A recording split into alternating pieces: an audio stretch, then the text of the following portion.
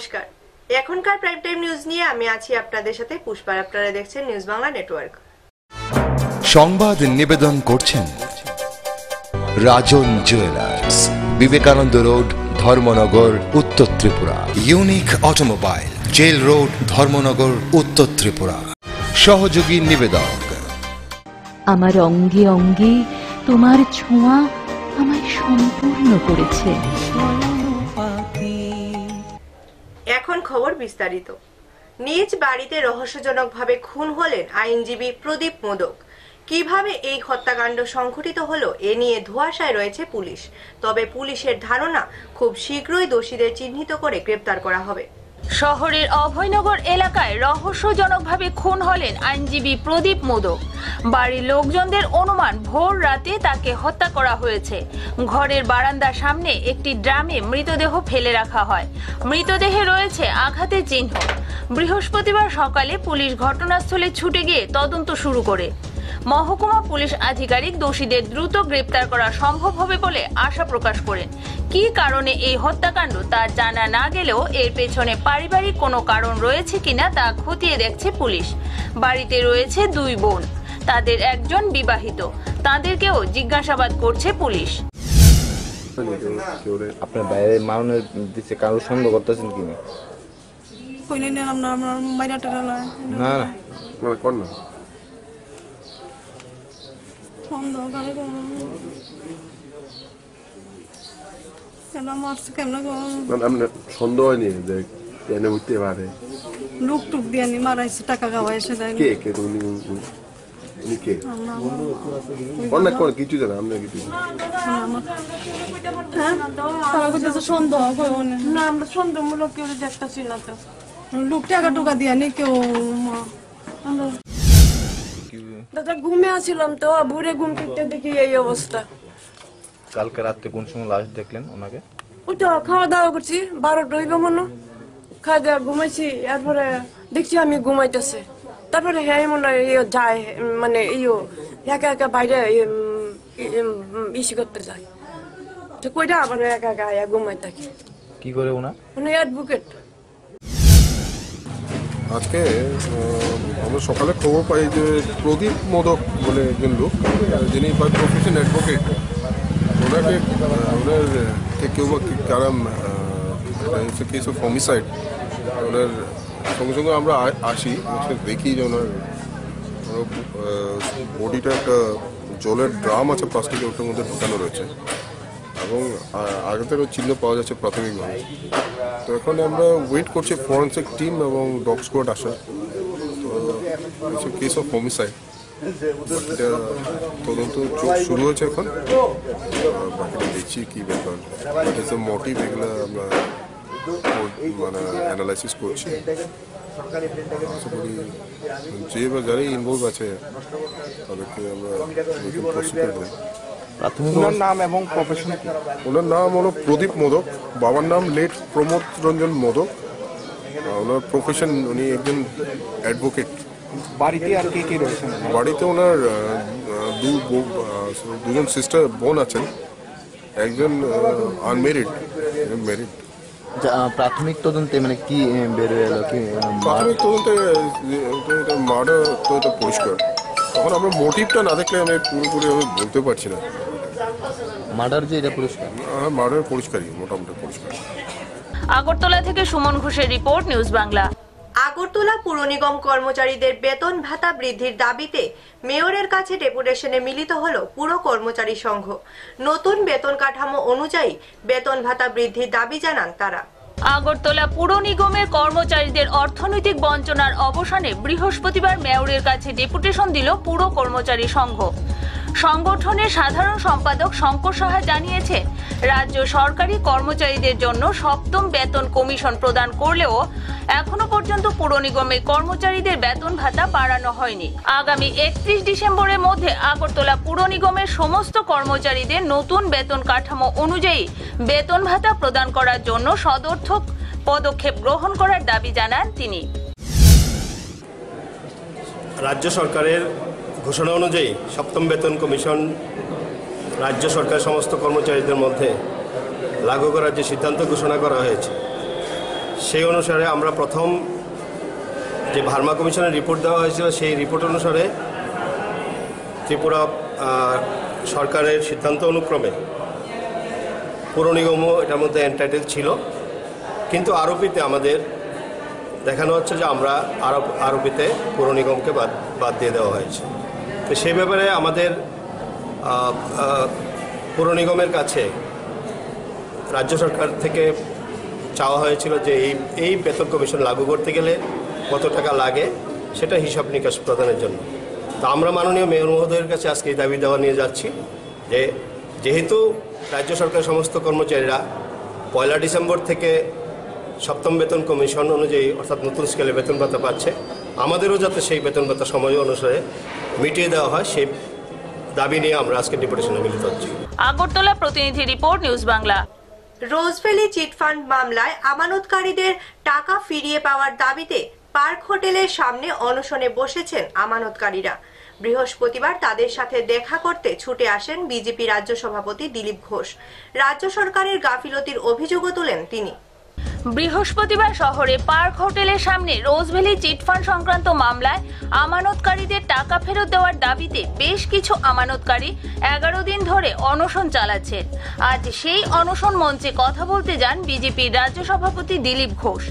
তিনি সেখানে গিয়ে বলেন, রাজ্য সরকার তাড়াতাড়ি তদন্ত করছে না। এতে তাদের কোনো গাফিলতি আছে। তাই আমরা ভবিষ্যতে কেন্দ্রীয় গোয়েন্দা সংস্থা ইডি আর সিবিআইয়ের কাছে আবেদন করব রোজভ্যালির কি কি স্থাবর অস্থাবর সম্পত্তি আছে তার তালিকা তৈরি।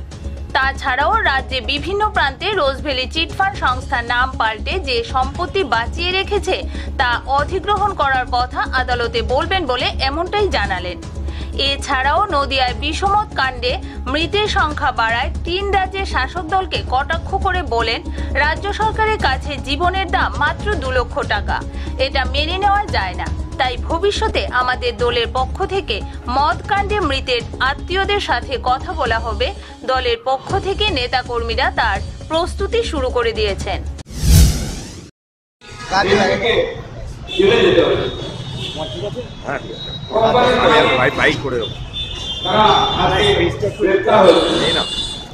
কিন্তু যারা তারা সাজা পাননি বিচার চলছে কিন্তু সাজা পাচ্ছেন যারা আমানতকারী এদের তারা সাজা পাচ্ছে যারা মার গেছে আমরা চাই যারা টাকা দিয়েছেন তাদের অধিকার যেন তারা ফিরে পান আপনারা শুনেছেন উড়িষ্যা হাইকোর্ট এবং অন্ধ্র হাইকোর্ট এই কেসিতে রায় দিয়েছে এবং বলেছে এই যে কোম্পানির যে প্রপার্টি যেমন হোটেল জায়গা পার্ক বড় ফুটপাথ যেখানে সাধারণ যাওয়ার জন্য টাকা পয়সা হোক সেই রায় কোর্ট দিয়েছে এবং সেই রায় শুরু হয়ে গেছে উড়িষ্যা এবং অন্ধ্রে পশ্চিমবাংলার যারা মানুষ, যারা বঞ্চিত, যারা ক্ষতিগ্রস্ত, তারা কেন অধিকার পাবে না? এদেরও পাওয়া উচিত, এটা আমরাও মনে করি। তাই কোর্টে আমরা আদালতের সামনে এই বার্তা নিয়ে যাব আবেদন নিয়ে যাব যে যেভাবে উড়িষ্যা এবং অন্ধ্রের ক্ষতিগ্রস্ত মানুষরা তার অধিকার ফিরে পাচ্ছেন। কলকাতা থেকে অর্ঘমাইতি রিপোর্ট, নিউজ বাংলা। নিয়ে নিচ্ছে ছোট্ট একটি বিরতি, ফিরছি বিরতির পর সঙ্গে থাকুন। ধর্মনগরে এবার অত্যাধুনিক সাজে সেজে উঠল রংমহল, বিবাহ ভবন অ্যান্ড কনফারেন্স হল এখানে বিবাহ, অন্নপ্রাশন থেকে শুরু করে যে কোনো সামাজিক কাজে অত্যাধুনিক ও রুচিসম্মত সব ধরনের সুবিধা পাওয়া যাচ্ছে। কনফারেন্স হল এবং গাড়ি পার্কিংয়ের বিশেষ সুবিধা রয়েছে আমাদের রংমহলে। আমাদের ঠিকানা থানা রোড, ধর্মনগর, উত্তর ত্রিপুরা। যোগাযোগ eight seven three zero zero six four zero seven four মনে আছে ছোট্টবেলায়? একবার নার্সারি স্কুলের ফ্যান্সি ড্রেস পার্টির জন্য? আমার দীপাবলির রাত তোমার আলোয় করে উঠেছে ঝলমল। তোমার স্পর্শে হয়েছে আলোকময়। আমার বিয়ের দিনে আমায় সাজিয়েছ মন ভরে। আমার অঙ্গে অঙ্গে তোমার ছোঁয়া আমায় সম্পূর্ণ করেছে। সুন্দর হে সুন্দর হে। ফিরে এলাম বিরতির পর। রাজ্যে রক্তের চাহিদা পূরণের লক্ষ্যে এবার রক্তদানের মতো মহৎ কাজে এগিয়ে এলো খ্রিস্টান ধর্মাবলম্বী লোকেরা। বৃহস্পতিবার করবুক মহকুমার ডেপাছড়া বড়বাড়ি এলাকায় এক অনুষ্ঠানের মধ্য দিয়ে রক্তদান শিবিরের আয়োজন করা হয়। এছাড়াও এই অনুষ্ঠানে পঞ্চাশটি কম্বল ও পঁচিশটি জলের ফিল্টার প্রদান করা হয়। অনুষ্ঠানে প্রধান অতিথি হিসেবে উপস্থিত ছিলেন বনমন্ত্রী মেবার কুমার জমাতিয়া। ত্রিপুরা রাজ্য উঁচুই খ্রিস্টানদের প্ল্যাটিনাম জুবিলি উদযাপন উপলক্ষে বৃহস্পতিবার এক মহতি রক্তদান শিবিরের আয়োজন করা হয়। করবুক মহকুমার ডেপাছড়া বড়বাড়ি এলাকায় অনুষ্ঠিত রক্তদান শিবিরে প্রধান অতিথি হিসেবে উপস্থিত ছিলেন উপজাতি কল্যাণ ও বন দপ্তরের মন্ত্রী মেবার কুমার জমাতিয়া। এছাড়াও বিধায়ক রঞ্জিত দাস ও বিধায়ক বুর্বামোহন ত্রিপুরা অনুষ্ঠানে উপস্থিত ছিলেন। স্বাগত ভাষণ রাখেন উঁচুই খ্রিস্টান প্ল্যাটিনাম জুবিলি উদযাপন কমিটির সম্পাদক পিটার উচুই। অনুষ্ঠানে সভাপতিত্ব করেন কমিটির সভাপতি লরেন্স উজুই। ত্রিপুরা রাজ্যে যে উনিশটি জনজাতি গোষ্ঠী রয়েছে, তাদের মধ্যে সবচেয়ে সংখ্যালঘু উঁচুই জনজাতিরা। গোটা রাজ্যে উঁচুই সম্প্রদায়ের লোক সংখ্যা তিন হাজারের চেয়েও কম।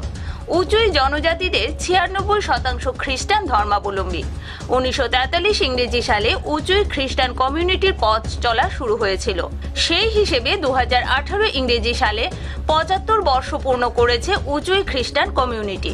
পঁচাত্তর বর্ষপূর্তি উদযাপন উপলক্ষে নানাবিধ সামাজিক কর্মসূচির অঙ্গ হিসেবে বৃহস্পতিবার মহতি রক্তদান শিবির অনুষ্ঠিত হয়। অনুষ্ঠানে বক্তব্য রাখতে গিয়ে মন্ত্রী মেবার কুমার জমাতিয়া উঁচুই সম্প্রদায়ের ভূয়সী প্রশংসা করেন তিনি বলেন উঁচুইরা সংখ্যায় কম হলেও দেশের প্রতি তাদের যথেষ্ট অবদান রয়েছে শিবিরে মোট আঠান্ন জন স্বেচ্ছায় রক্তদান করেন এছাড়াও অনুষ্ঠানে অত্র এলাকার দুস্থ পরিবারগুলির মধ্যে পঞ্চাশটি কম্বল ও পঁচিশটি জলের ফিল্টার বিতরণ করা হয় the principle of Christianism. But he says, I love Christ, but not Christian. Meaningful.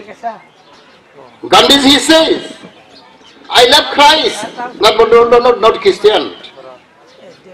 হাম যাব খ্রিস্টান হাম জায়গা দ্যাট মিনস তিনি খ্রিস্টান বয় না যে খ্রাইস্ট হামাকে চিন তংয়া আউট মিনিং প্লে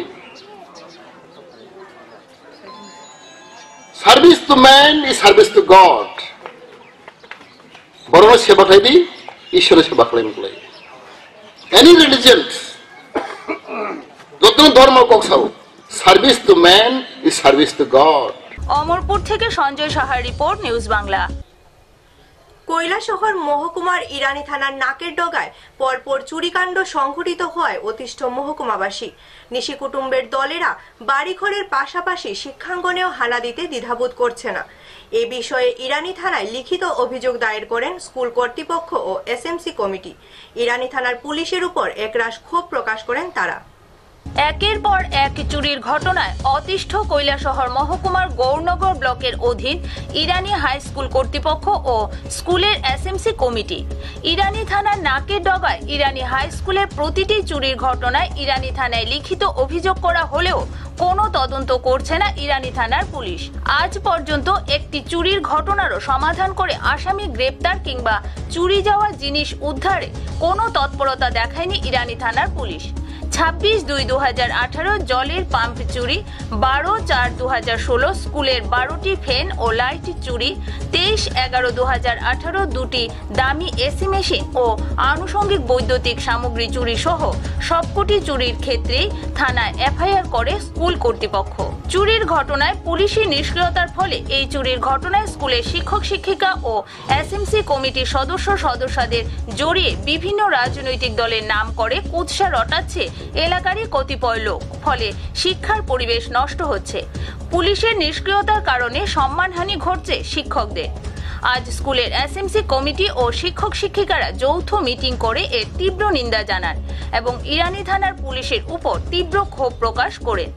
মিটিং শেষে এসএমসি কমিটি এবং স্কুল কর্তৃপক্ষ যৌথভাবে ইরানি থানায় গিয়ে চুরির ঘটনার তদন্তের খবর নেন এবং খুব দ্রুত দোষীদের গ্রেপ্তার করে শাস্তির দাবি জানান।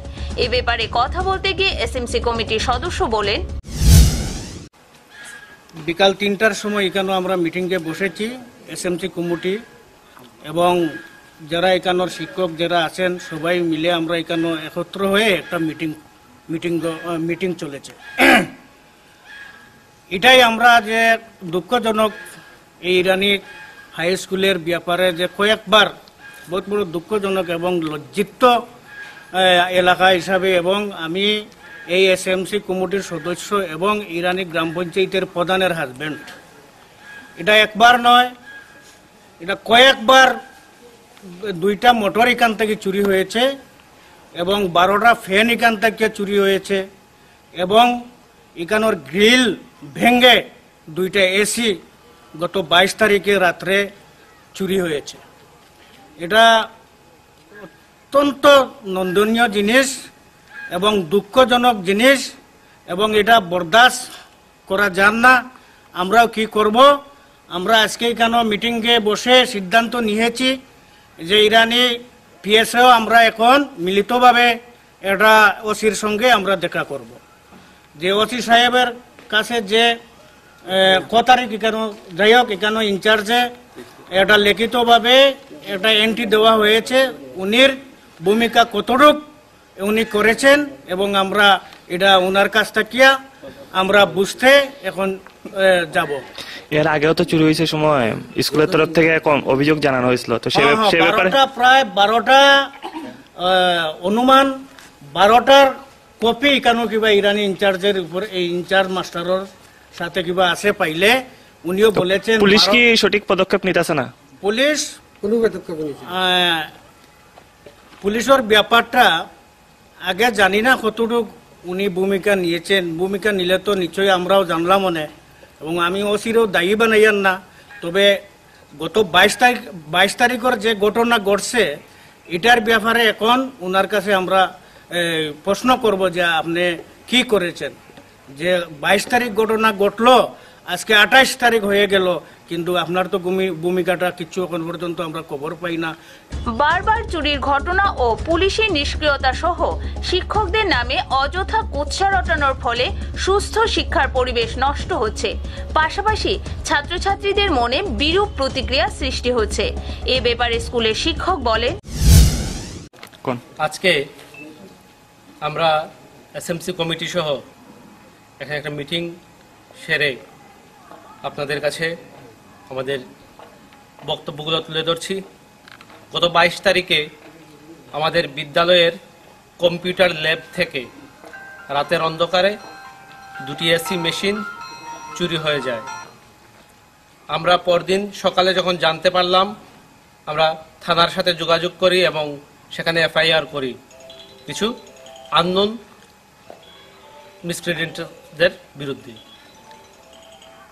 যাই হোক এ ঘটনা ইরানি বিদ্যালয়ে এই নতুন নয়। গত চার পাঁচ বছর থেকে প্রায় সাত আটটা চুরির ঘটনা ঘটেছে ইরানি উচ্চ বিদ্যালয়ে। বিদ্যালয়ের বিভিন্ন বিল্ডিংয়ের ফ্যান, এসি, বিদ্যালয়ের লাইট, গ্রিল, মোটর বিভিন্ন সময় চুরি হয়েছে। আমরা প্রতি ক্ষেত্রে থানায় জিডি এন্ট্রি করেছি। কিন্তু আজ পর্যন্ত আমরা কোনো সুরাহা পাইনি। আমরা আপনাদের মাধ্যমে প্রশাসনের কাছে দাবি জানাতে চাই যে অতি সত্বর আমাদের এই যে চুরি যাওয়া জিনিসগুলো যাতে উদ্ধার করে এই সমস্ত ঘটনা যাতে ইরানি উচ্চ বিদ্যালয়ের সাথে আর না ঘটে সেদিকে যাতে প্রশাসন ব্যবস্থা নেয়। কৈলাসহর থেকে দেবাশিস দত্তের রিপোর্ট নিউজ বাংলা। ঐতিহ্যবাহী গঙ্গাসাগর মেলার প্রস্তুতি চলছে জোর কদমে। প্রায় এক কোটি পঞ্চাশ লক্ষ টাকা পেয়ে সাজিয়ে তোলা হচ্ছে মেলা প্রাঙ্গণ। রাজ্য সরকারের গ্রিন সিটি মিশনের তহবিল থেকে এই টাকা বরাদ্দ করা হয়েছে বলে জানান এক্সিকিউটিভ অফিসার জয়ন্ত মণ্ডল। সামনেই গঙ্গাসাগর মেলা। ভারতবর্ষের সর্ববৃহৎ মেলাগুলির মধ্যে গঙ্গাসাগর মেলা অন্যতম। এই মেলাকে সফল করতে এখন থেকেই প্রশাসনিক স্তরে শুরু হয়ে গেছে তোড়জোড়। রাস্তা, আলো, জল ও শৌচালয় ব্যবস্থার পাশাপাশি গঙ্গাসাগর মেলা প্রাঙ্গণে ছ একর জায়গাতে সৌন্দর্য ও সবুজায়ন ঘটানোর লক্ষ্যে সরকারের গ্রিন সিটি মিশনের তহবিল থেকে এক কোটি পঞ্চাশ লক্ষ টাকা বরাদ্দকৃত অর্থে গঙ্গাসাগর বকখালি ডেভেলপমেন্ট অথরিটির উদ্যোগে কেরালা থেকে উন্নত মানের নারকেল চারা নিয়ে এসে লাগানো হচ্ছে এবং তার নিচে শেড বানানো হচ্ছে। এক্সিকিউটিভ অফিসার জয়ন্ত মণ্ডল জানান, এতে পরিবেশের রুক্ষতা কাটবে, পর্যটকরা শেডে বিশ্রাম নিতে পারবে এবং তিন বছর পর থেকে ওই গাছ ফল দেবে। তাতে করে আমাদের কিছুটা আর্থিক সুরাহাও হবে। দু হাজার আঠারো আর্থিক বর্ষে যে পরিকল্পনা গ্রহণ করা হয়েছিল আমাদের সরকারের গ্রিন সিটি মিশন বলে একটা প্রোগ্রাম আছে। মেনলি লক্ষ্য সবুজায়ন ঘটানো বা আমাদের এমন কিছু লাইট বা অন্য কিছু লাগানো, পুকুর খনন করা বা ওয়াটার রিজার্ভেশন এইসব, যাতে আমাদের পরিবেশটাও আছে। সেই হিসাবে গঙ্গাসাগর বকখালি ডেভেলপমেন্ট অথরিটি প্রায় এক কোটি পঞ্চাশ লক্ষ টাকার একটা পরিকল্পনা হাতে নিয়েছে। সেই পরিকল্পনায় যেটা আছে, আমাদের মেলা মাঠ যেটা আছে, গঙ্গাসাগর মেলা যেখানে হয়, প্রায় ছয় একরের বেশি জায়গা, সেখানে পাঁচটা রোড আছে, আপনারা জানেন। সেই রাস্তার বোথ সাইডে যেটা হচ্ছে কেরালিয়ান ভ্যারাইটিস নারকেল গাছ, যেগুলো ছোট সাইজে হয় এবং প্রচুর নারকেল হয়, সেটা আমাদের দুধার দিয়ে লাগিয়ে দেওয়া, যাতে পরিবেশের রুক্ষতাটাও কাটে এবং সয়েল ইরোশন যেটা হচ্ছে আপনারা দেখবেন, সেই সয়েল ইরোশনটাও অনেক অংশে রোধ করা যাবে। তাছাড়া যারা বেড়াতে আসে অন্য সময়, ওখানে যে শেডটা হবে গাছের ছায়া, ছায়াতেও বিশ্রা- বিশ্রাম নিতে পারবে। আরও বড় যে গঙ্গাসাগর বকখালি ডেভেলপমেন্ট অথরিটির একটা আর্থিক সুরাহতে হতে পারে। এক হাজার নারকেল গাছ যদি আমরা নাইনটি পার্সেন্ট গাছ বাঁচাতে পারি, সেক্ষেত্রে আমাদের একটা মানে রেগুলার ইনকামের একটা সোর্স এটি হিসাবে এটা কাজ করবে। তাছাড়া আপনার এখানে যে সমস্যাগুলো তৈরি হয় মূলত, যে বালি চুরি বা অন্যান্য যেগুলো মেলামাঠ থেকে হচ্ছে, সেগুলো আমরা অনেকাংশে আটকাতে পারব। আশা করা যায় আমরা মেলার আগে এই কাজটা শুরু করেছি এবং মেলা যখন শুরু হবে তার আগেই পুরোটা কমপ্লিট করতে পারব। গঙ্গাসাগর প্রতিনিধি রিপোর্ট নিউজ বাংলা। এখনকার মতো প্রাইম টাইম নিউজ এ পর্যন্তই আমাদের পরবর্তী সংবাদ দেখার জন্য চোখ রাখুন নিউজ বাংলার পর্দায়।